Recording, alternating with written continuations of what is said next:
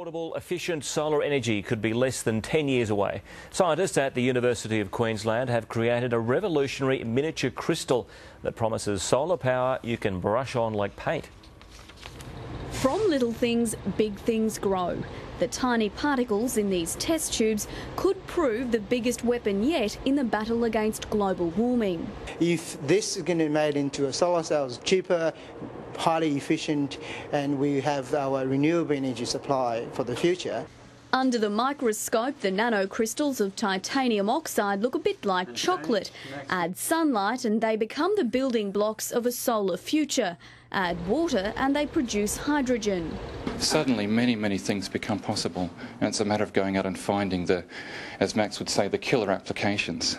Led by Professor Lu, scientists at the University of Queensland's Institute for Bioengineering and Nanotechnology took chemical computer modelling that defied rules of crystals and reproduced it in the laboratory.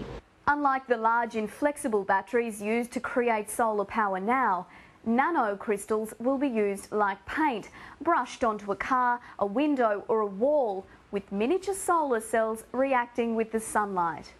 They're about five times more efficient than conventional solar generators and should be about five times cheaper.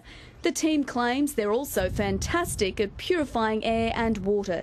The same process that turns sunlight into energy will break down pollutants in the atmosphere, river or water supplies. We prove uh, the doubt uh, is wrong.